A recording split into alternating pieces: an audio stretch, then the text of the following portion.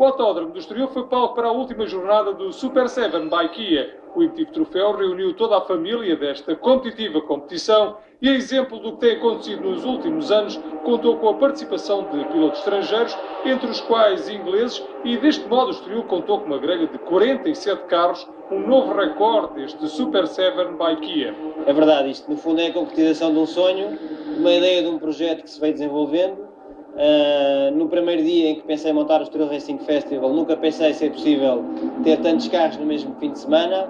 Uh, e de ano para ano as metas têm vindo a elevar-se e temos vindo a concretizar objetivos com grelhas que estão cheias até não entrar mais e temos fila de espera. Por isso não podia ser melhor uh, em termos de quantidade e qualidade de inscritos.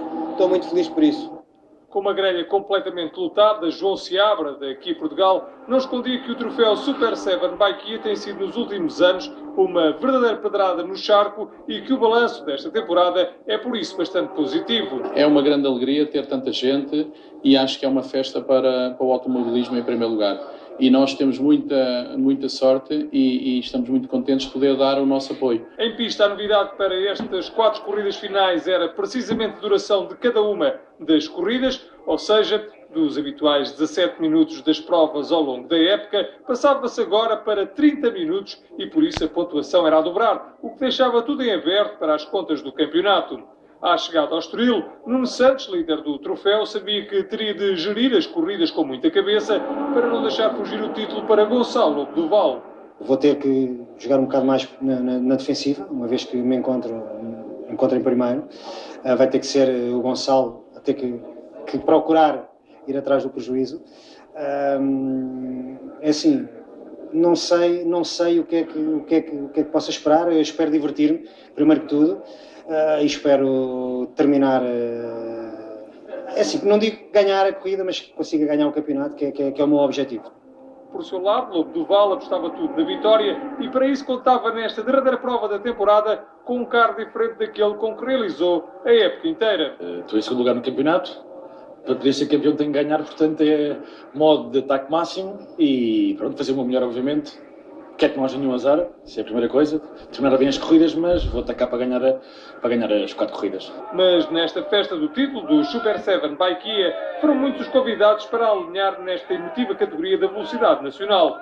Entre os muitos convidados presentes neste evento, alguns deles faziam a sua estreia ao volante de um Caterham da Super 7 by Kia. Um dos triantes era o vice-presidente da Federação Angolana dos Desportos Motorizados, para quem esta presença no Estoril era uma forma importante de colaboração com Portugal para o desenvolvimento do desporto automóvel em Angola. Poderia dizer que nos sentimos em casa, sentimos muito felizes, principalmente porque também começamos a estabelecer laços de camaradagem, laços de, de trocas de experiências entre Portugal e Angola.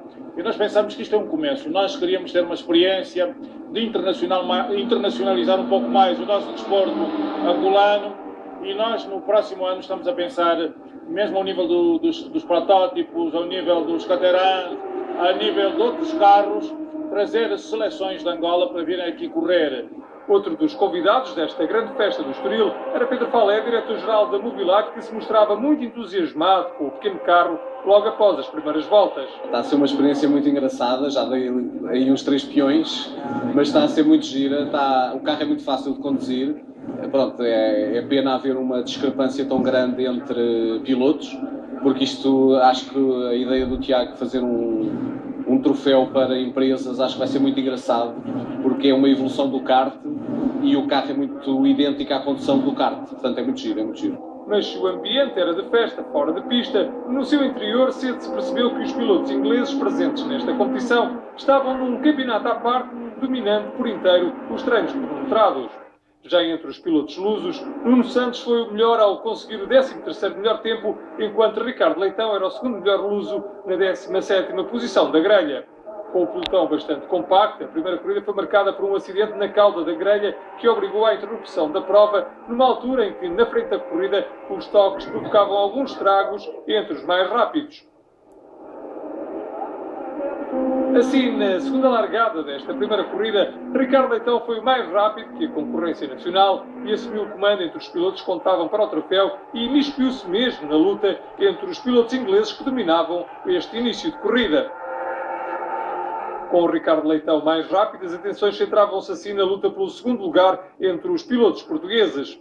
Aqui a emoção era muita, já que Nuno Santos, Cláudio Fiório, Manuel Caetano e Luís Lisboa não davam tréguas e estavam separados por poucos segundos.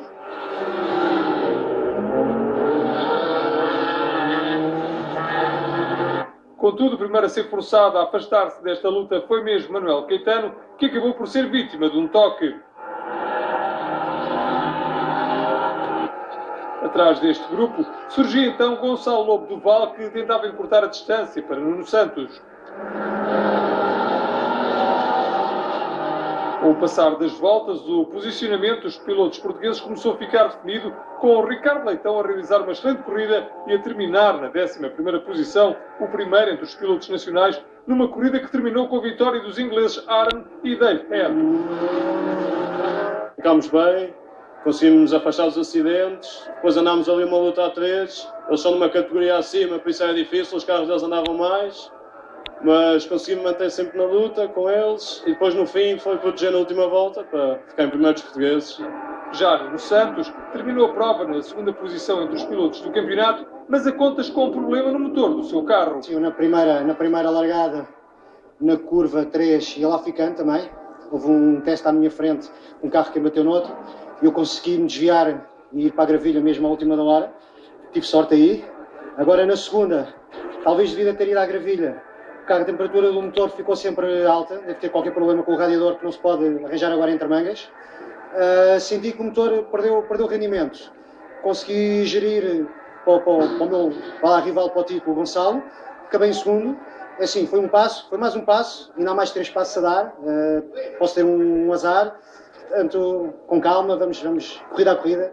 Por seu lado, Gonçalo Lobo Duval voltou a não ter uma tarefa fácil. Foi terceiro, mas foi obrigado a bater-se até à bandeira de xadrez com o Luís Lisboa, com os dois pilotos a lutarem pelo lugar mais baixo do pódio nesta primeira corrida do fim de semana do Estoril. Deixou tudo em aberto. Isto foi uma corrida muito confusa.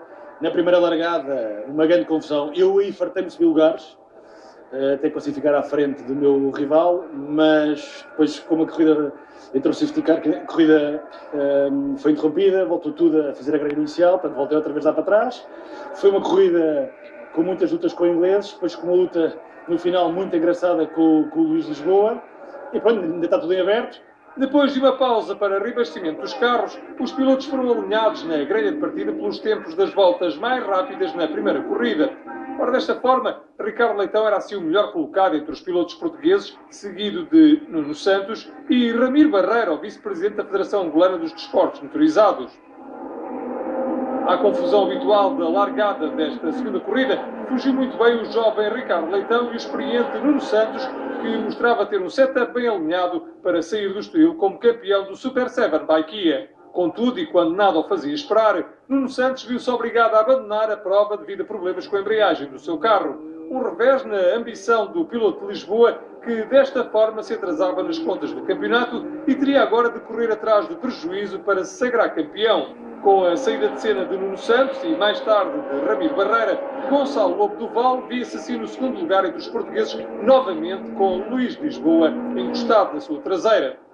Mais atrás, um grupo liderado por Hugo Araújo, no qual se contava Nuno Carvalho, campeão de 2013, e Duarte Lisboa, que estavam a animar o público presente no Autódromo do Estoril numa luta sem quartel. Na frente, nada de novo, Ian Barnes e Mark Farmer foram os vencedores de uma segunda corrida que dominaram, enquanto Ricardo Leitão, que desta vez não contou com a presença habitual do seu irmão Eduardo, a contas com as finais mundiais da Rotax em karting que se realizaram em Espanha, somava assim a segunda vitória entre os pilotos do campeonato. Está a correr bem, foi, esta foi mais difícil, depois a meio perdemos ali um bocado, depois conseguimos recuperar tudo, conseguimos apanhá-los, eh, no fim conseguimos passá-los e está correndo muito bem. O segundo lugar foi ocupado por Gonçalo Lobo Duval, que desta forma virava o tabuleiro do campeonato a seu favor.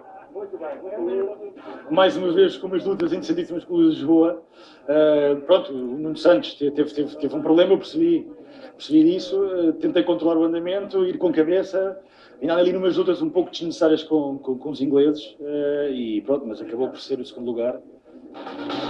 Mais à frente voltamos ao exterior para a festa final do Super 7 by Kia. Agora olhamos para a